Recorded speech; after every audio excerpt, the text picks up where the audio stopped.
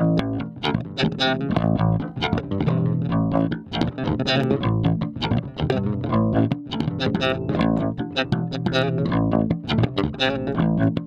and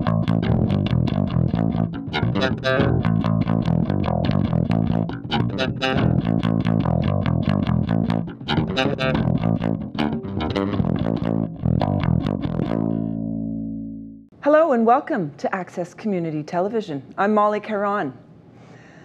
Where investment reigns supreme, we at Access Community TV continue to emphasize the importance of community.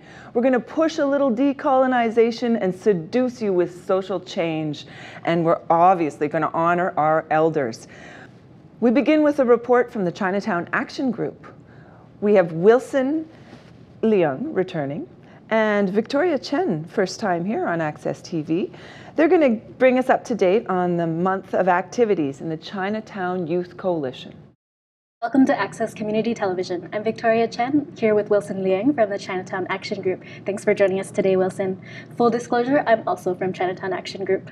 Um, and we're here today to discuss some of the things that have been happening in Chinatown um, with the Chinatown Youth Coalition. Wilson, can you tell us a little bit about the Youth Coalition and who's in it? Uh, yes, um, welcome to uh, Access TV. Uh, Chinatown Youth Co Cooperative is, is an inter intergenerational group, uh, including like a senior youth, uh, including the group of youth collaborative for Chinatown and uh, youth for Chinatown seniors, and Chinatown Action Group, Chinatown Concern Group, and Hua Foundation. Mm -hmm. Yeah, it sounds like there's a lot going on with the Chinatown Youth Coalition. Can you tell us about some of what's happening, especially around 105 Keefer? Uh, yes, as, um, as everybody know, and uh, recently uh, Chinatown is a very hot spot for development, and uh, the committee all, all, all, all said like uh, it it just goes too fast. And 105 Keefer, it's a it's, it's a very controversial development proposal. Um, it's located at the heart of Chinatown and surrounded by cultural sensitive like a place like uh, uh, the Sun Yat-sen Garden, the mm. Chinese Cultural Center, and the um, and this, uh, another like uh, two another couple like uh, heritage building just an alleyway away at the back of the of the site, and uh, and the proposal is asking to build like a, a tall building, which is not fitting in the cultural content and the heritage content in this particular location. And uh, as, as, as most of people know, this uh, controversial proposal have been going on for a while and have been turned down, and now the developer want to come back again and try to try to uh, move on to build this high rise.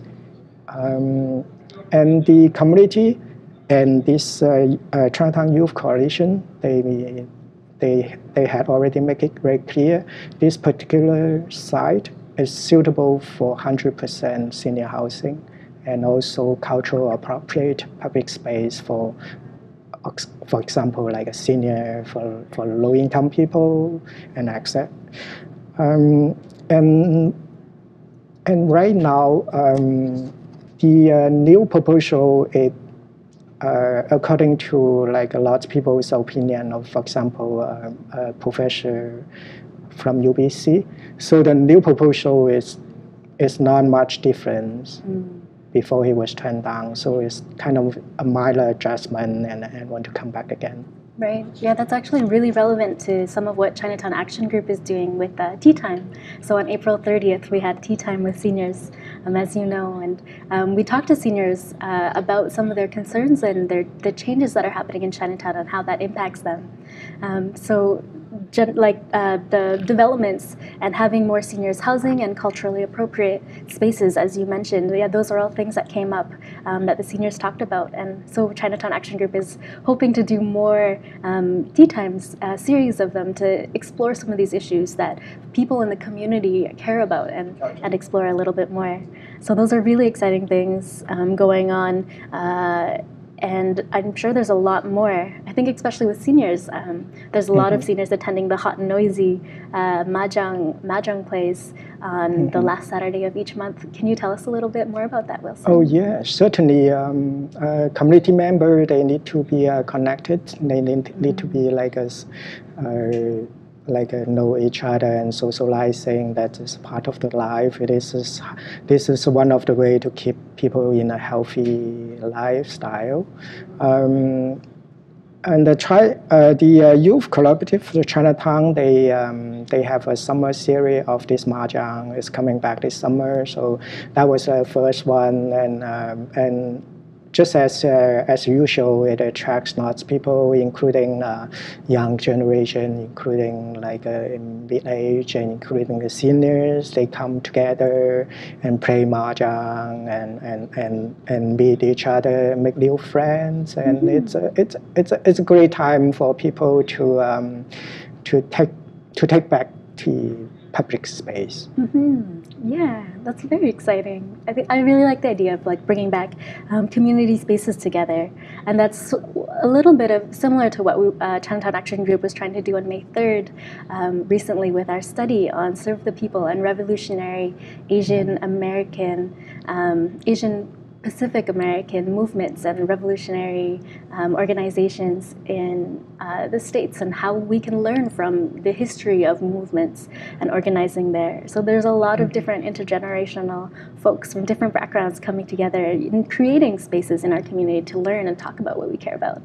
Um, it sounds like there's there's lots going on. Even today, there's also uh, on May 8th, there's a Jane's Walk happening in Chinatown. So lots of new folks are learning more about Chinatown and getting to use this space. It's very exciting.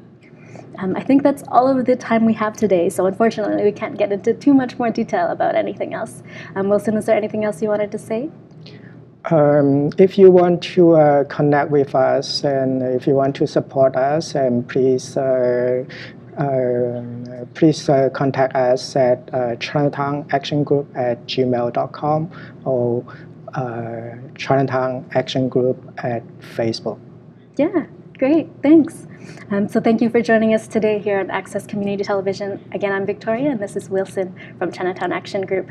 Um, that's all we have for today, and thanks for thanks for joining us.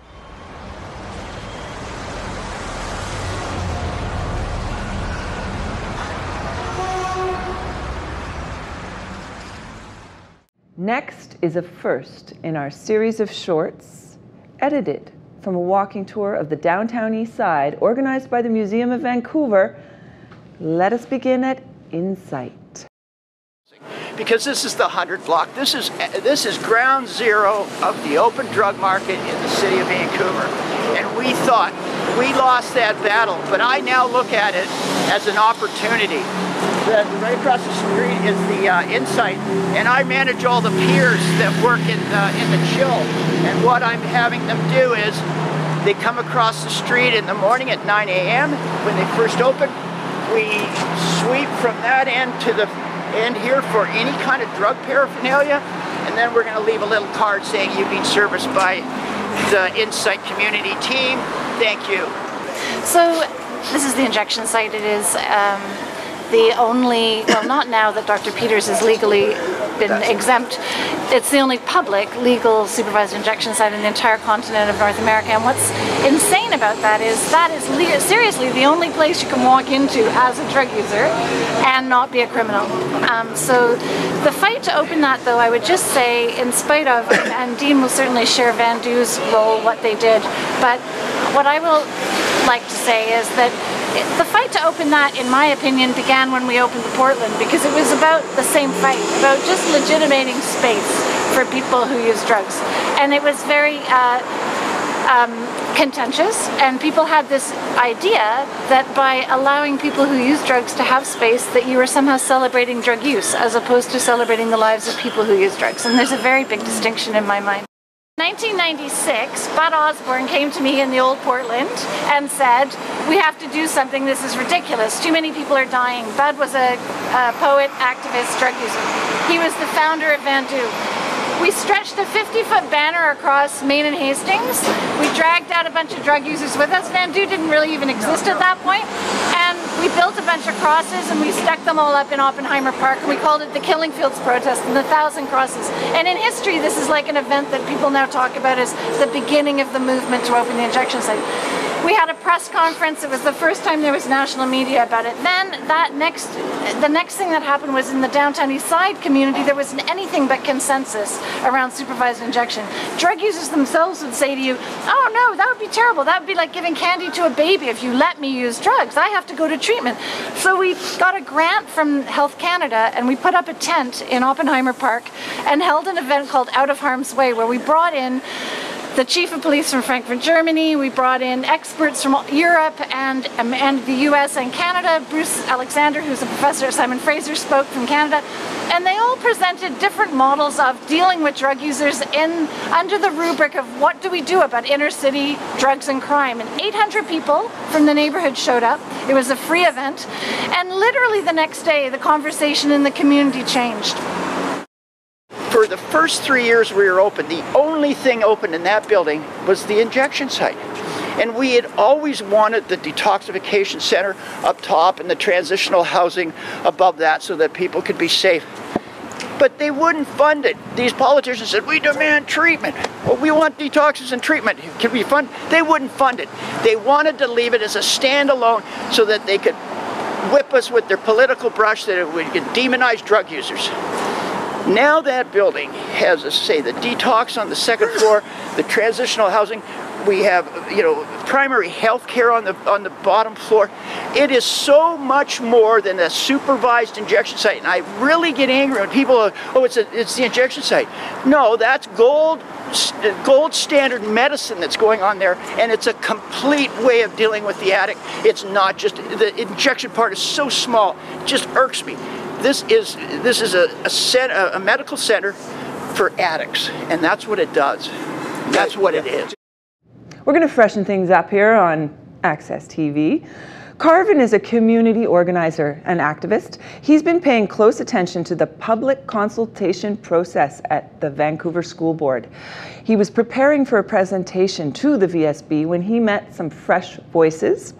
Diego Cardona is here to speak with Carven, and they're particularly concerned about the budget and the money allotted to immigrant and refugee kids who come to a public system that is underfunded, and they will obviously have a higher likelihood of dropout if this sort of funding continues.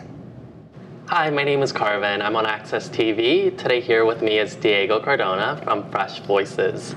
Um, I got connected with Fresh Voices because um, I was really looking for uh, some research for the speech I was making at Vancouver School Board.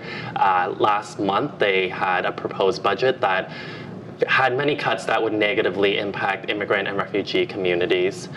And um, just as an update on May 6th, um, the chairperson uh, wrote to community groups saying that uh, the superintendent will carry with the cuts of the preliminary budget, and um, the board will continue to try to fight for funding from the provincial government. So thank you so much for being here with me, Diego. Uh, I want to know, how did you first get involved with Fresh Voices?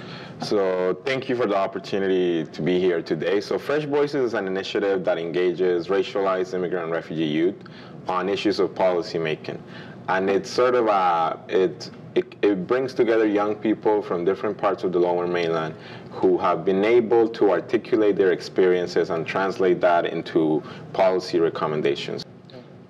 And um, I was wondering, uh, what are some recent initiatives that uh, Fresh Voices is doing?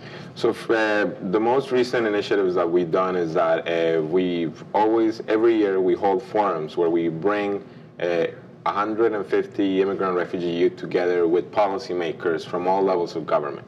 So our most recent forum was in November of last year, and we've been working on how do we gather everything that came out of that forum and, try, and put a new report together that addresses some of the current issues that immigrant refugee youth are facing, particularly in the school system, which are not very different from the issues that we were facing four or five years ago. Hmm. But some data needs to be updated. So myself being a first generation immigrant myself, um, and also my grandma um, was a war refugee uh, who was fleeing from uh, the wet and tropical um, river delta of Hong Kong. And uh, it was the Japanese occupation. And so after the war occupation, uh, she had a hard time integrating back into the school system, I think due to poor planning and also um, just lack of funding. So um, what is it like, uh, would you say? What's like a common experience for a lot of people who are uh, refugees or immigrants coming into a school system that is experiencing budget cuts? Yeah, so I think the budget cuts uh, really are seen, particularly within uh, refugee communities, uh, particularly amongst Latinos and other categories of refugees. We have very high dropout rates from high school that range anywhere between 40% and 60%. And that's in particularly due to the fact that the lack of resources and, and proper uh, resources for teachers and staff to deal with the trauma that comes with being a refugee is not there. So particularly students are getting into a school system that doesn't have the resources to understand their full journey. So they are often being understood by narrow stereotypes that, that really uh, minimize their ability to thrive within the school system. Because now people are saying, well, this person might be from this background, so we associate these things where, from where they're from, so maybe they're not going to succeed. So what we're trying to do from Fresh Voices is how do we do, allocate the proper resources so teachers and staff can be trained to fully understand the journeys of refugees and migrants. And to, but also, what most important is that we understand that immigrant refugee youth are not just defined by their refugee or migrant journey, mm-hmm. but they must be allowed to reach their full potential in the school system. But in order to do that, we must first understand what it means truly to become, to be a, a refugee or an immigrant in the school system. Awesome. All right. We got to wrap up. How do we get connected with Fresh Voices? So we love when people visit our website, freshvoices.ca, and you can follow us on Twitter at Fresh Voices. And we're always out there, you know, trying to advocate for these issues. And we also always welcome feedback. So Thank you. thank you for the opportunity for, to be here.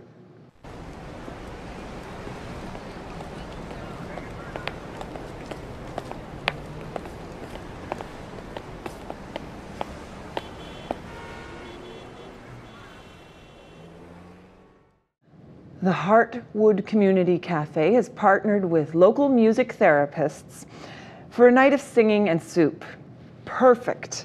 This is a fundraiser for their Soup for the People program. Daniel Carr reports.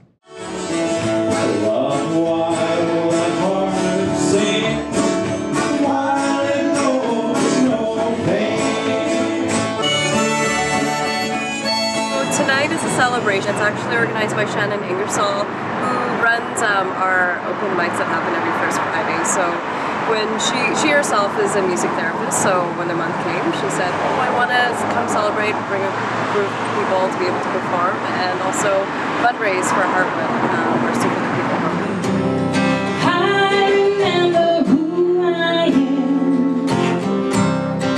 Oh, I'm a community builder, so I just love being able to gather with other music therapists. The music therapy community is small to begin with, and we a lot of us know each other. And then having uh, you know five of us sing in a community social justice space just feels like the epitome of community building to me. So it's pretty fun. We're all music therapists performing tonight, and the money goes towards Heartwood Cafes, I believe their community soup kitchen program. So, sort of just giving back and raising awareness for music therapy. Our Pay What You Can uh, soup program, which is offered every day, Tuesday through Sunday. Um, and we provide hot, nourishing, nutritious, amazing soup that's made with as many organic and local ingredients as possible. Anyone can come in and get a bowl of soup. Music can take you very deeply, very quickly, and there can be responsive reactions that may be unhealthy or may be traumatic, and sometimes it's helpful to have a therapist there to support that. Uh, music brings out the social side of people. So you can all be in a room like we were today and get everyone just clapping or singing along. And when you're singing with someone beside you, that's a very social and connective feeling. Lots of it's really good for expression. You could express yourself maybe playing a drum really loud or banging on the piano more than just saying like I'm sad, like just talking about it. But having people in our music groups that the care staff will come and say, I have never seen this person light up like this before. And having them singing even at full volume and it's just unbelievable what parts of music will draw out. It really draws the healthy person forward. Boy, let me tell you, it's a great day to be alive.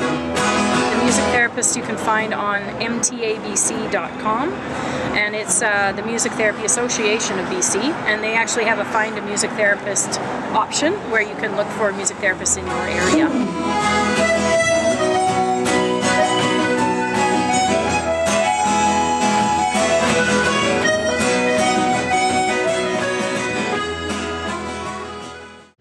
To support Heartwood's Pay It Forward Community Soup program, go to heartwoodcc.ca.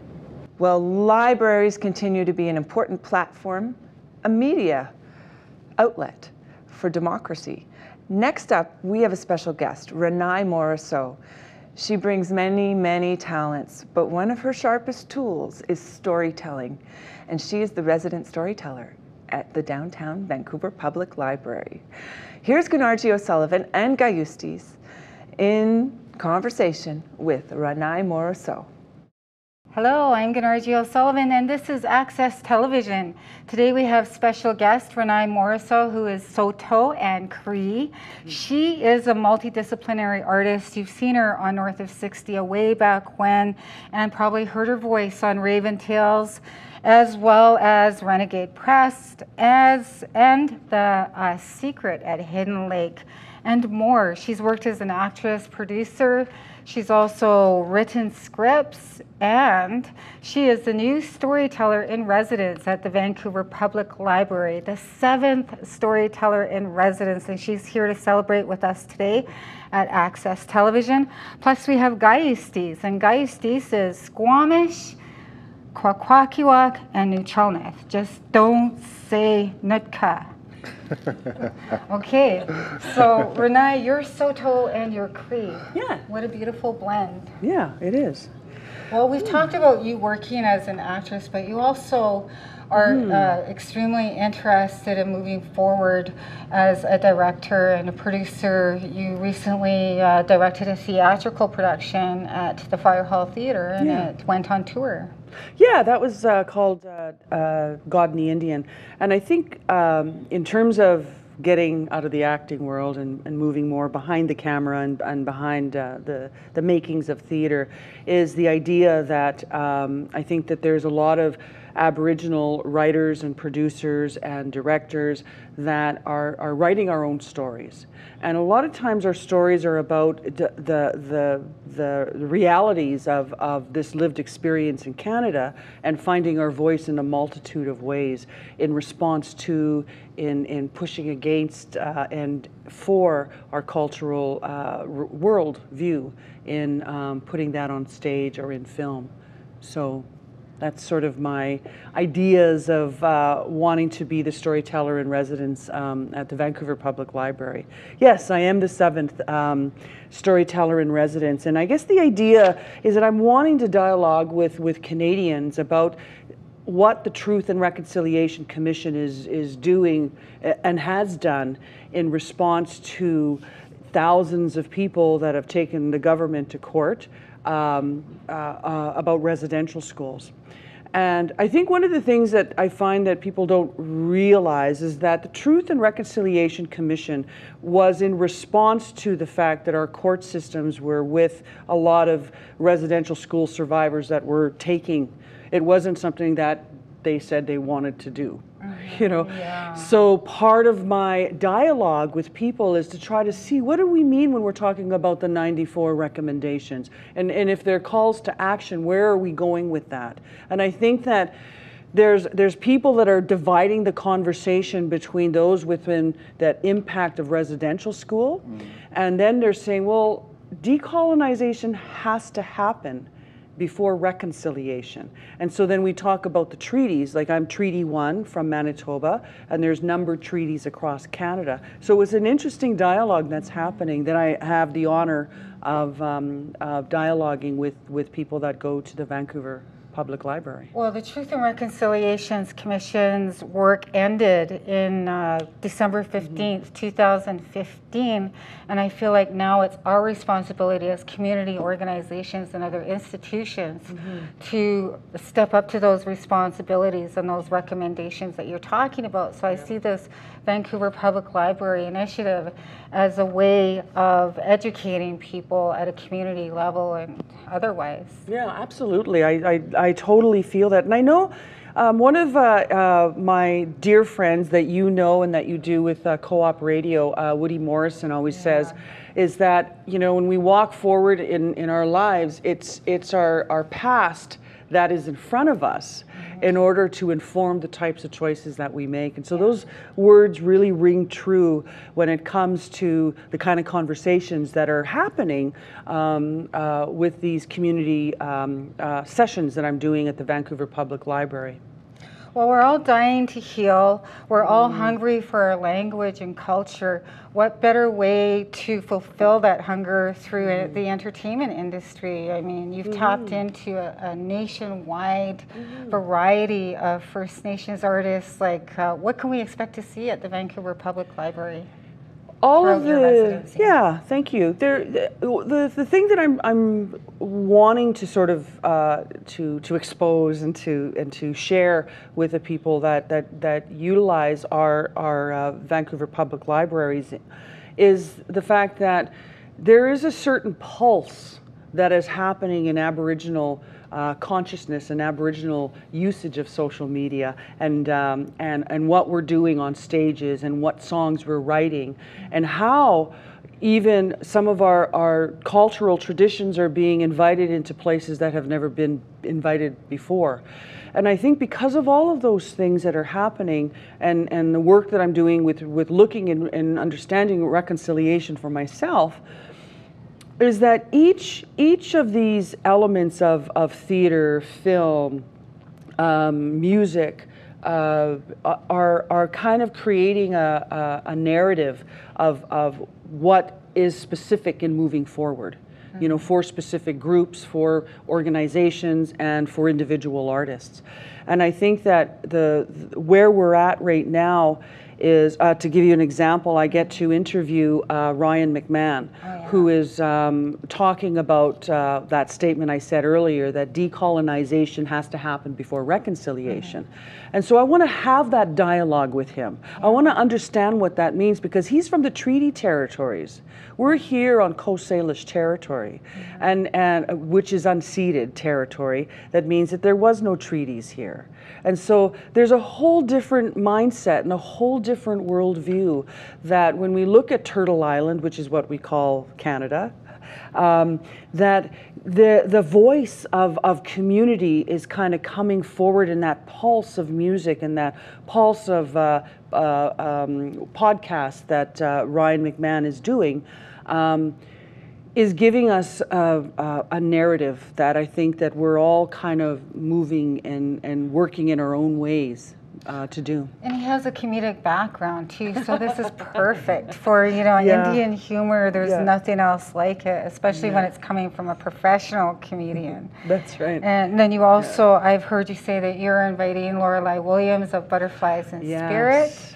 Yes. And yes. also uh, Doreen Manuel, who's Yeah. a filmmaker. So That's you're right. coming at it from all angles. You're Yeah. addressing, you know, Yeah. the decolonization, uh, the missing and murdered women, probably homelessness. You know, are you really going to look at those 94 rec- recommendations and then fit that criteria when you you're thinking about your guests? Well, I think the, the, the thing for me is that um, we know in our communities, uh, you know, across Canada, especially here in Vancouver, is that we know in our communities what our needs and our responsibilities are, and and in, in and whether it's in organizations or with the three host nations, that there is certain things that need to happen, and that we know that we're working towards doing that. what's happening with the murdered and missing women. Lorelei Williams, right from the beginning, has has been there, and she realized that utilizing art. Uh, for the Butterflies in Spirit, which is a dance troupe, was an opportunity to bring more Canadians into understanding what that meant for us. And also, it created this healing uh, activity for those group of women because all of those women are families of the missing and murdered women. So we're going to wrap this up and uh, tell us where to go, how long we have to get there, and. Uh, yeah. well, our, the closing event at the Vancouver Public Library is on June 20th. I'm bringing 17 Aboriginal published writers together, um, and uh, I hope that uh, you can all come there. The Aboriginal Writers Collective is a part of it, so thank you for inviting Beautiful. me. I can't wait to go. and you know, something else that's happening in the community, if you're looking for a traditional or uh, an event that talks about decolonization, we have unceded territories at the Museum of Anthropology, which begins on May 10th and will go until October 16th. You'll have a chance to meet the artist himself, Lawrence Paul. And Eustace, Yes. you are going on a peace and dignity journey. Um, well, the Peace and Dignity Journeys is an ongoing uh, intercontinental run where they run from Alaska and then they ran to Teotihuacan, Mexico, and then they ran to Panama. And now the Peace and Dignity Journeys has started again. It happens every four years where they run from Argentina with Condor staffs and they run with Eagle staffs and they run and they meet in the middle for ceremonies. And um, so it started, um, started now, and I believe that uh, they should be here sometime around June 12th, sometime around that area that they'll be running through here. And there's efforts being pulled together to pull together the canoe families, to pull together the ceremonial people from here, to be able to show our uh, support for unity, peace, and dignity. And it's the prophecy of the condor and the eagle coming together where the indigenous people's voice is going to be heard by the world and that the world's going to be ready to hear the voice of the indigenous people. So it's an exciting time having everybody pull together in unity and hopefully they can come and see you too at the library. Some of the people will be here. I know that they're really busy. They do ceremonies all the time. I also wanted to make mention of what happened too in New York on Earth Day, that the indigenous people of North Central and South America were united together to sign a treaty for um, the indigenous people of the world to save Mother Earth on behalf of Mother Earth. So lots of really exciting things happening out there. Uh, now I'm going to leave you with uh, footage from the INAC occupation that happened in Vancouver. As you know, it's been a, they held a nationwide occupation from Toronto to Regina, right here in Vancouver. Here it is.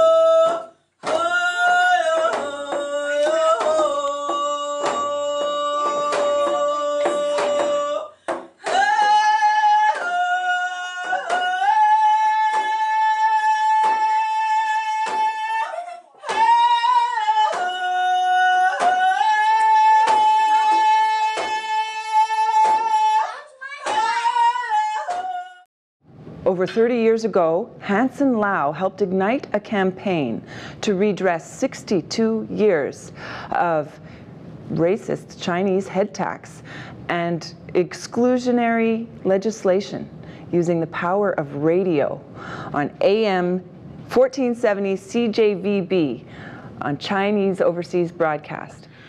Hello and welcome to Access Community Television, shamelessly promoting our friends and community. My name is Sid Tan and I'm here with Hanson Lau, who can say, help galvanize the Chinese head tax and exclusion redress movement. Welcome to the show, Hanson. You're welcome. It's so great to have you here. We've worked together for many years and now we get to talk on the eve of the 10th anniversary of Stephen Harper's unilaterally imposed settlement on June 22nd, 2006. I'd just like to start with you because you were there at the beginning. Can you just give us a brief rundown of what happened and how this got going? Okay, the uh, head tax movement started when Margaret Mitchell, who was the MP for Vancouver East, was approached by two members of the Chinese community who paid the head tax, okay? And one of them was Charlie uh, Mack. The other was Buddy Young. Yes, the two of them. So uh, they approached Margaret Mitchell. Margaret Mitchell, representing them, went to uh, the parliament and brought this issue up in the parliament. And Vancouver Sun reported it. And uh, I do my radio program every day, reading the Vancouver Sun and uh, interpreting it in Chinese, Cantonese, to the audience to give a background. So when I read the uh, news about the head tax, it was a surprise to me. I came into Canada in 1966. I didn't know anything about the head tax. So I invited Margaret Mitchell to the radio show to explain it to uh, the audience. Many of them are from Hong Kong and they do not know the background. So the head tax going back a long time, it was a, uh, a uh, how you call that, a racist uh, uh, legislation. Yeah, in actual fact, fact, the yeah. intent is to stop immigration of Chinese into Canada. Started with five dollars and then uh, twenty-five. Started with fifty dollars Oh, in 1885, okay. went up to hundred dollars in 1904, went up to uh, and then $500 five hundred dollars in 1905, I believe, and then in 1923, no amount of money. Chinese exclusion from 1923 to 1947. 62 years of legislated racism against the Chinese.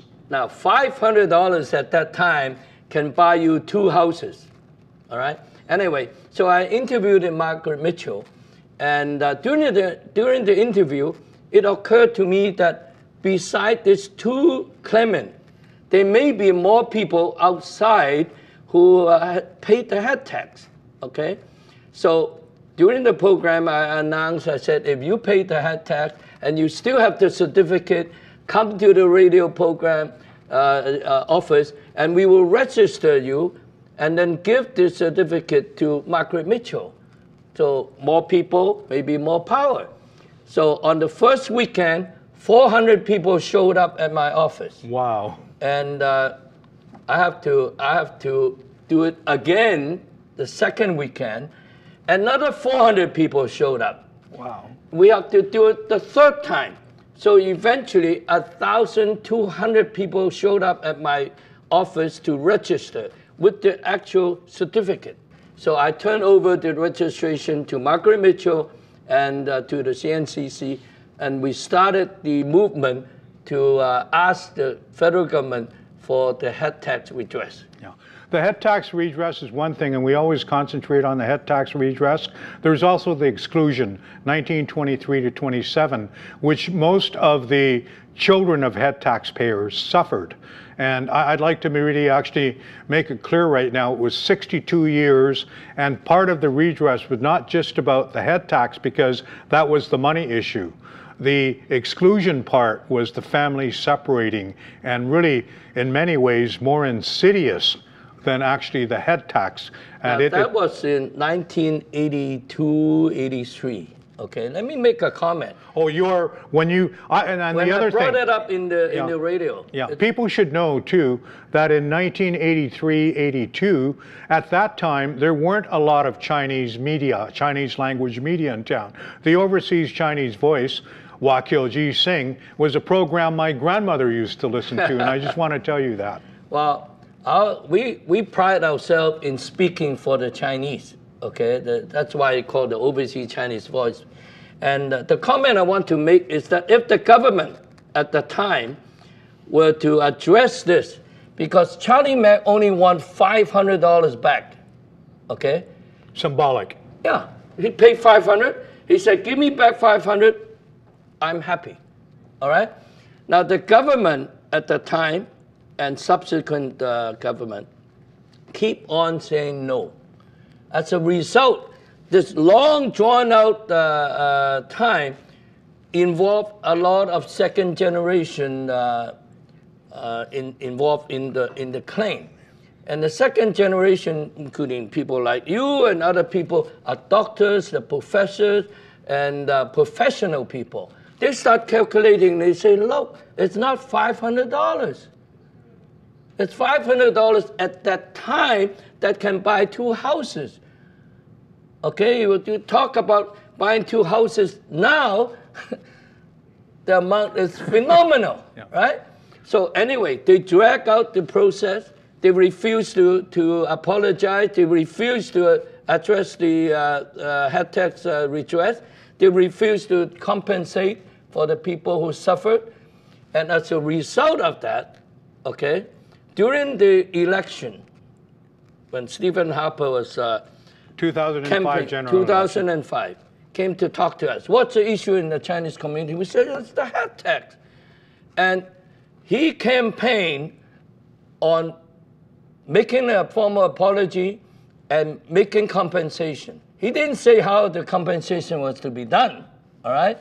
But after the election, true to his word, I got to give him credit. So do I. All right, he did formally apologize in the parliament, and he did compensate the living at that time, the, the people who paid the head tax but still living, plus the widows. Yes. All right, but that only 700 to 800 Yes. less than a thousand compensation, all right? Which to me is less than symbolic. It's, it's not even fair, all right? And nothing was done to compensate the second generation. Just to let you know, I'm third generation. I'm the grandson of a head taxpayer. But what I want to know, Hanson, is that you mentioned you got here in 1966. You have very little to do with the head tax and all that. what gets you so fired up about this? What me- gets you so going on Let this? me let me explain, okay? My involvement in the head tax movement is not on the basis of me being a Chinese person. All right? I figured that one out for a long time. At the beginning, I was doing the Chinese radio show, speaking for the Chinese community, speaking for the head tax payers. But I realized as I go along that I am involved in the head tax movement, head tax redress movement, because I'm Canadian. This is a Canadian value, doing something which is right. All right? My father or my grandfather, they did not pay the head tax. I have no vested interest in the head tax. And the second generation uh, redress, nothing to do with me. Except I think this is the right thing to do. As a Canadian, all right, justice delayed is justice denied. And the whole head tax movement sh- should be based on one certificate, one claim. We're going to have to get going pretty soon, Hanson. Uh, a couple of things that I wanted to get to you. How do you think we should move forward on this? I think you should continue to fight. And uh, that again is another Canadian value. They never give up until the right thing is done. Okay. And I just want to make clear is there anything else that you want to add before we have to leave? Uh, I don't want to add, add anything. I want to say that Sid, you are involved in the head tax movement. I want you to continue to fight. I will continue to fight with you. I understand you guys are going to have uh, another annual general meeting, so maybe you should tell the audience uh, what it is, and uh, if they want to help, come and help you. Well, I guess the, uh, thank you for everything, Hanson, and uh, it's, it's so good to have you here. I should let people know that we are continuing to organize. This has been, for me personally, an over 30 year struggle. And uh, I, I'm glad to see it. And uh, thank you for coming on the show, Hanson. You're welcome. Uh, it's so good to have you here. And uh, full disclosure, uh, I am uh, a founder and uh, former past president of the Tax Family Society of Canada.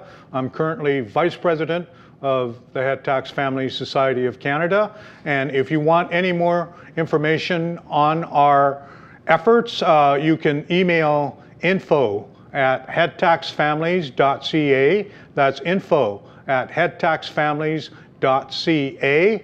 And until we get a full, just, and honorable settlement that will include the elderly affected sons and daughters of head taxpayers who suffered the exclusion. And remember, exclusion was more insidious. In many ways, the head tax today might be considered a tax grab, but it was very racist tax grab and exclusion. And the 62 years of racist legislation needs to be closed. So my name is Sid Tan. You're watching Access Community Television, shamelessly promoting our friends and community. Until we meet again, straight shooting and tight edits. My four little children will one day live in a nation where they will not be judged by the color of their skin, but by the content of their character. I have a dream today.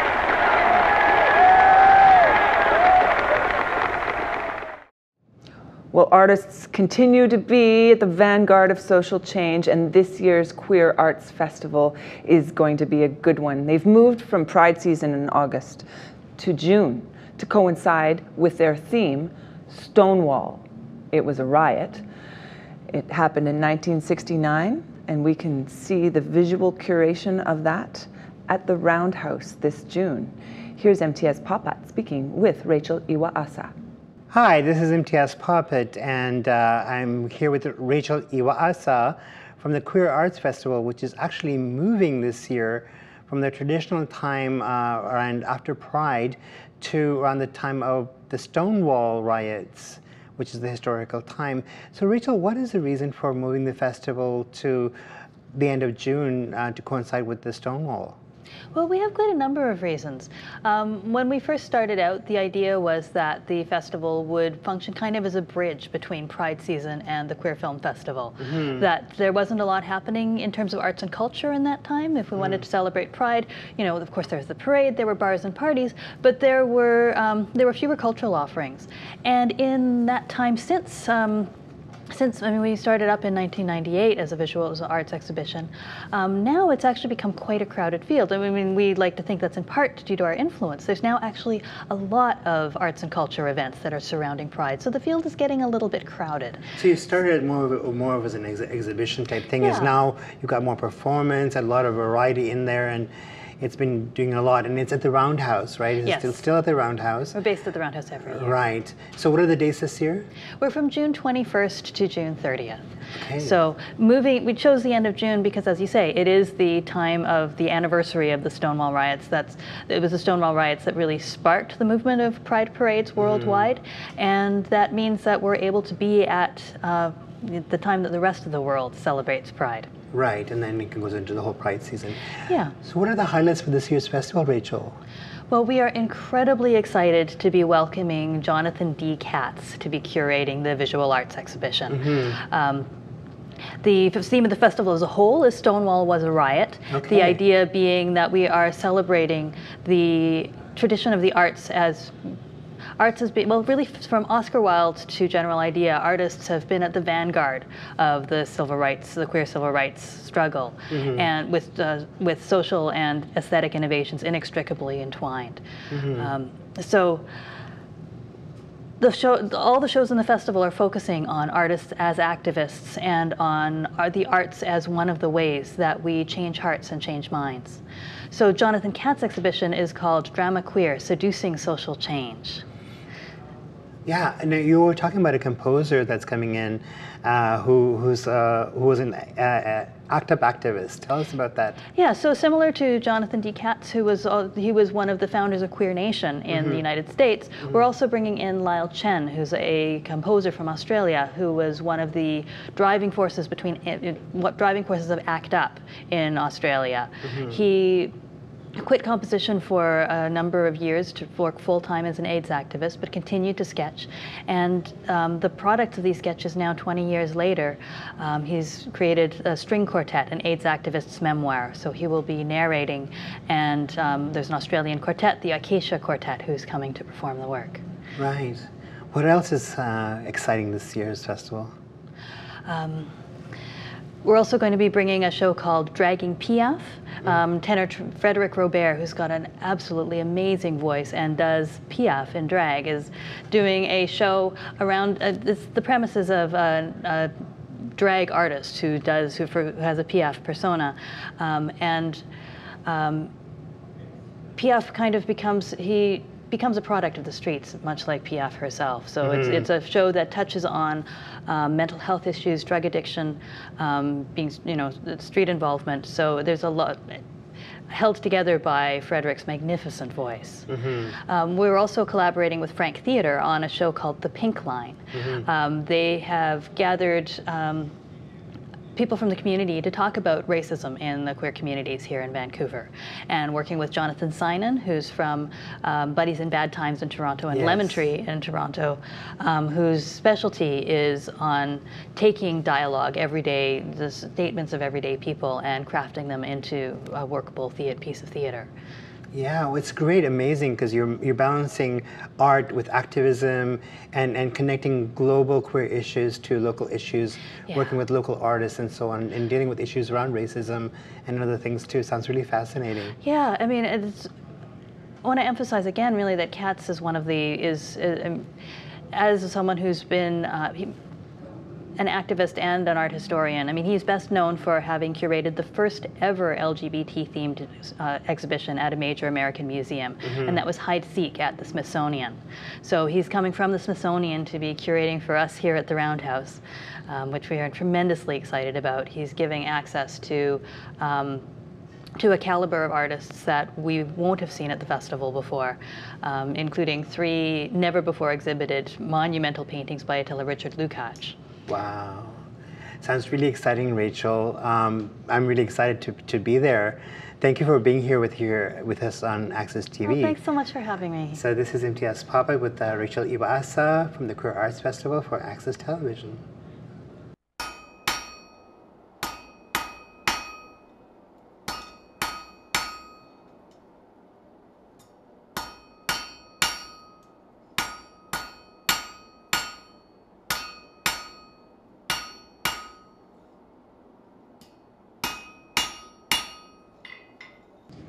Next up is Hot Topics. And the hot topic is if you're on disability, you used to be able to buy a bus pass for the year for $45. Things aren't so simple anymore. Here's Kelly with some of those details. Hi, this is Imtiaz Popat with Hot Topics here on Access TV.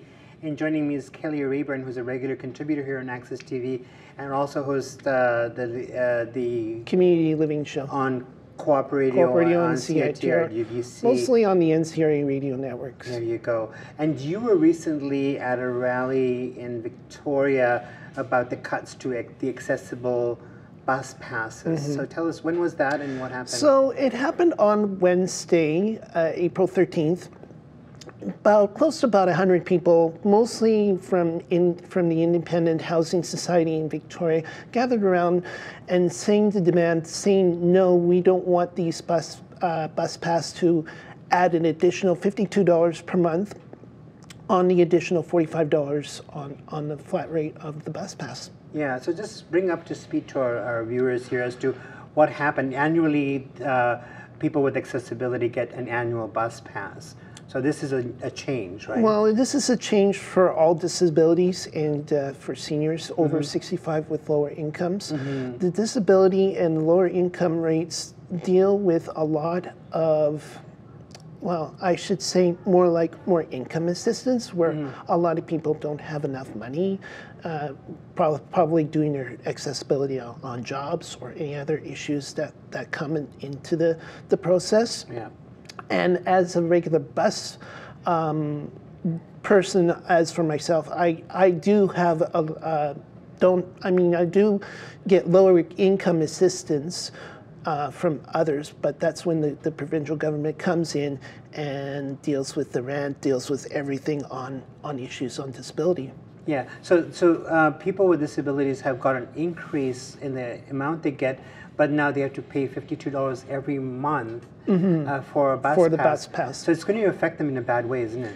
It is going to affect on some of the people with disabilities. For either one, they don't have have difficulties of getting a job, or the income assistance may affect on their rents, their uh, the grocery shoppings, or any other types of other incomes that come in, into the process of income assistance.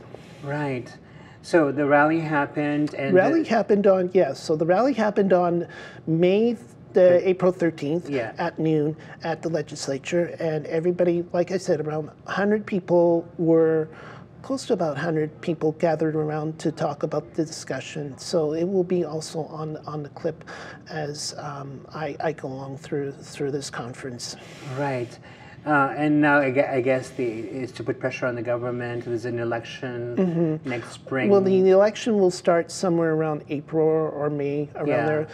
But the bus pass situation will start take effect after September, October, when they renew their registry of their bus yeah. pass. So that's when it really take effect, and people will be affected on it directly. That's correct. Is there uh, some place people can go for more information, or, or, or get involved, or or send letters or protests to? Just uh, send uh, send letters to the Liberal uh, candidate in your region if the Liberal uh, MLAs are saying they agree on Christy Clark on adding in the 45, let, uh, not 45, 54 dollars per month, just to say no, we don't want the we don't want the 54 dollars per month. We just we rather have the 45 dollars per year instead of the 54 dollars per month in addition to the to the bus pass. Right. Great. Thanks, Kelly. Thanks for joining us on Hot Topics today. So this is Imtiaz Popat and Kelly Reaburn on Hot Topics for this uh, program. I have here a special literary edition of the Megaphone with our friend Heinrich Buene on the cover. This is yours for $5.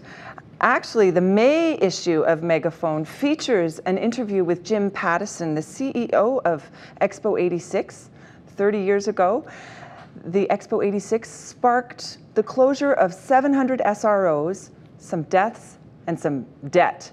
And it actually fueled the affordability crisis we're experiencing now in Vancouver. Give it a read. I'm Molly Caron, and I'm grateful to be here with this wonderful group of volunteers bringing you the stories of our community. If you have a story, please bring it to us. We can handle the truth. Until we meet again, keep it real. Thank you.